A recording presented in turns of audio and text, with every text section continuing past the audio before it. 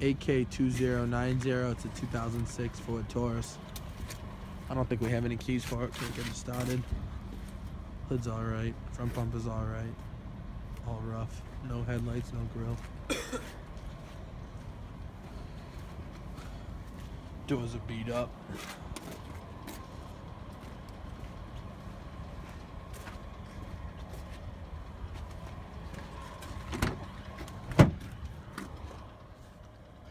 Nobody.